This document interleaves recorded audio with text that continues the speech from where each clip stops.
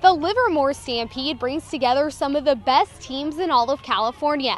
Two of those teams are meeting today California and Archbishop Mitty. Mitty is currently ranked second in the nation, just behind last year's Stampede champs, Amador Valley. Mitty's success this year can be contributed to their 91 runs and overall team batting average of 385. But if anyone's going to give this Mitty team a run, it's going to be the California Grizzlies.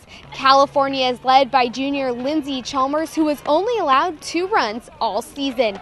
It's a beautiful day for some softball, so let's get to the monster highlights. Say hello to Mitty coach Brian Yocke and Cal coach Joe Callaway as they shake hands at home plate before the game. Top of the second belonged to Lindsay Chalmers as she gets the batter swinging and the inning. To the third, more Mitty Kierstin Nordin gets a hit on the ball. It falls in shallow center. Norden gets to first. Monarchs now with the runner on third and two outs. The Grizzlies Kwyn Cooper with a nice throw to Leah Fournier, keeping it scoreless through three.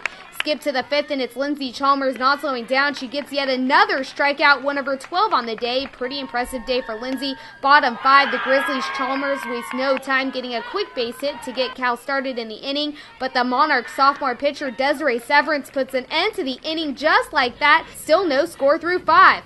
Top of the sixth, more Severance. This time she gets the great bunt. The ball gets away, and Severance makes it all the way to second. In comes a pinch runner for Desiree. And a few plays later, Ashley Chestnut comes in clutch, getting a much needed Monarch base hit. Danielle Bowers is going to race home for the first run of the game, Mitty up 1 to nothing. Then off a wild pitch, the Monarchs pull in another insurance run to extend their lead 2 to nothing, headed into the bottom of the sixth. And bottom of the sixth belonged to Desiree Severance. Two outs for Cal, and it's Desiree getting the batter looking to end the game. Mitty wins with a final score of 2 to nothing. Kind of really stressful, but I know that I have a great offense and a great defense, so I'm always going to be backed up either way.